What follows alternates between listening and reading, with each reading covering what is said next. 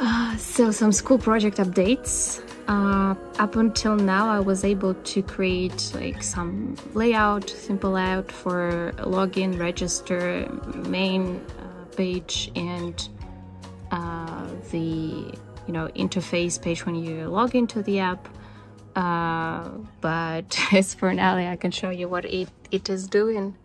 So you go to logging and yeah you have like a username let's say Anna Th this user exists so it will should show the invalid password because I'm not typing the password password which is in the database so yeah and what is to do is that like for all the errors that I have I just uh, return a JSON with the error message but I should reroute to like the same login page and show the error somewhere in the interface saying oh sorry like uh, the password is not valid.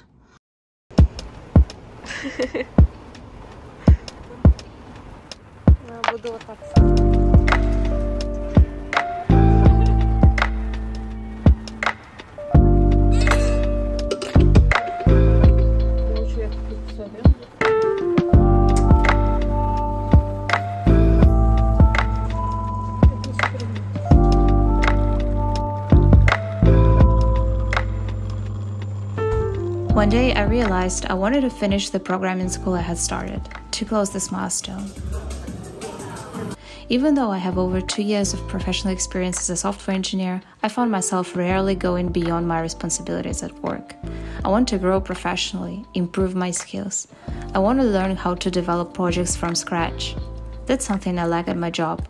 When you join a company, the solid foundation is already laid out. Practicing coding after a full day of work where you've already been coding most of the time is incredibly challenging, at least for me. For a long time, I struggled to find the motivation to work on my own side projects. The idea of getting my diploma came to me just at the right time. There is a clear, tangible results in pursuing it. The school projects have a defined scope, specific subjects, and deadlines, and so here we are.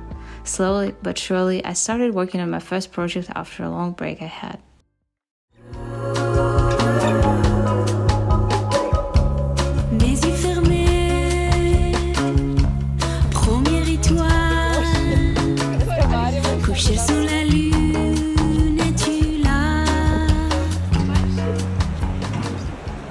Right vlogging times. We are in vlogging? we are in the terrace and someone uh yeah i will show you. There are um, like like this. You, you see like it's door window doors. And normally we entered and we left them open but someone didn't check that there was someone on the terrace and they closed us so we are stuck. Uh, luckily we have some coffee. This is my friend masha who's also a software engineer. We motivate each other to do more than just our regular work tasks. We decided to meet up every Saturday or Sunday to spend time together and be productive. While I work on my school projects, Masha goes through workshops, read tech articles, and works on other things.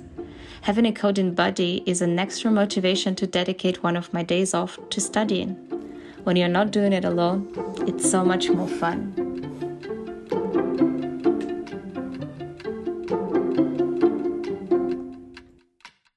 And we have a beautiful view. Uh-huh. But uh, tell tell me how. Someone is very pissed because it's second time this week. Second time this week, someone closes his fucking door and closes me at the terrace. Yeah, but luckily we had we she had a number of uh, security guys and they will. Uh, They're coming so, to save us. Yes. Yeah, they're coming to rescue us.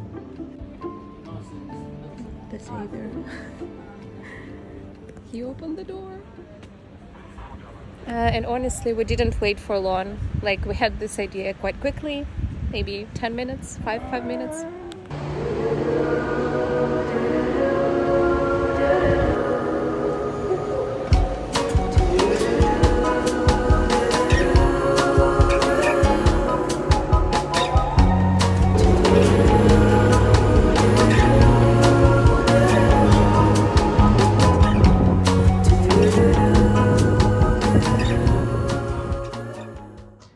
Like all of the register logic. If you're interested, I'm just I can go to like your already exists, so it shouldn't be able to register me. Or your yo exists. We'll see.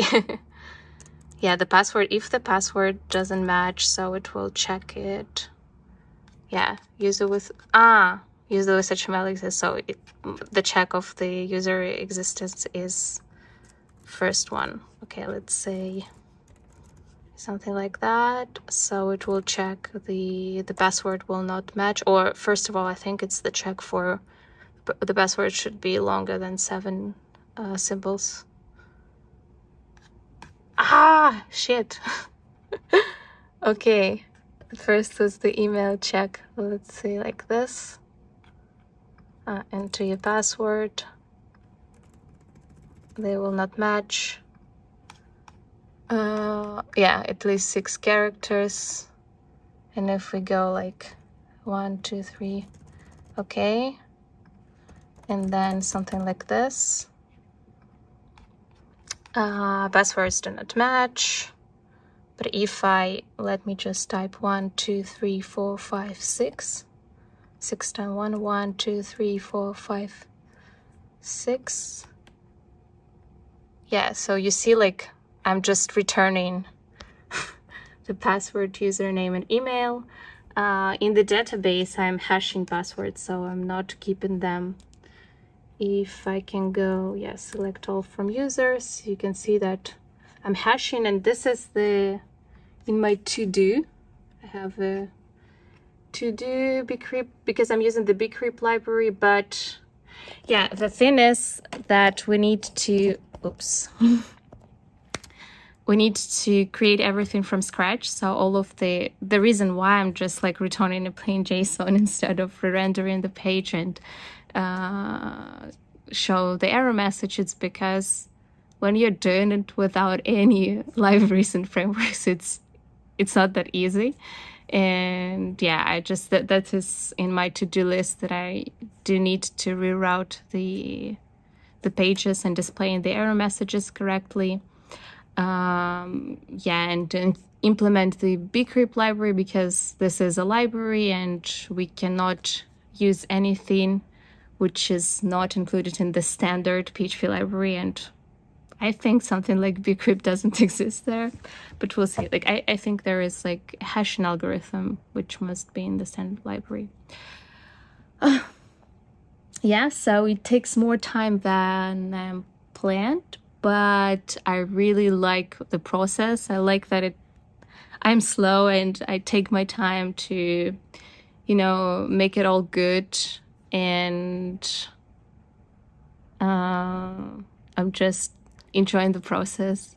Some very useful advice for those who are doing projects uh, during their free time and don't have so much free time in the end. So because basically I'm working on this project only one day at the weekend, so every week, and it's easy to forget uh, for example, today took me like around 10 15 minutes to have a look of all the project structure and I forgot what I should do basically what haven't I implemented.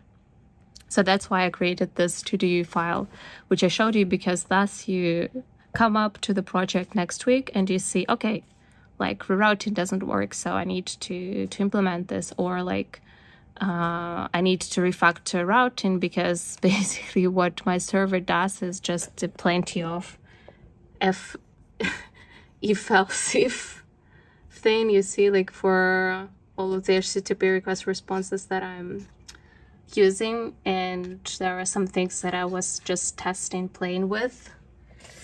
Um, yeah, so let me know if such uh, videos um, are useful for you and I will be more excited to show you the progress and maybe the, the final project if you if you're interested in. So please comment and share what you do as a side project or as a school project and your struggles and uh, some maybe some insights, advice for for other people. Let's create sort of a supportive community in the comments.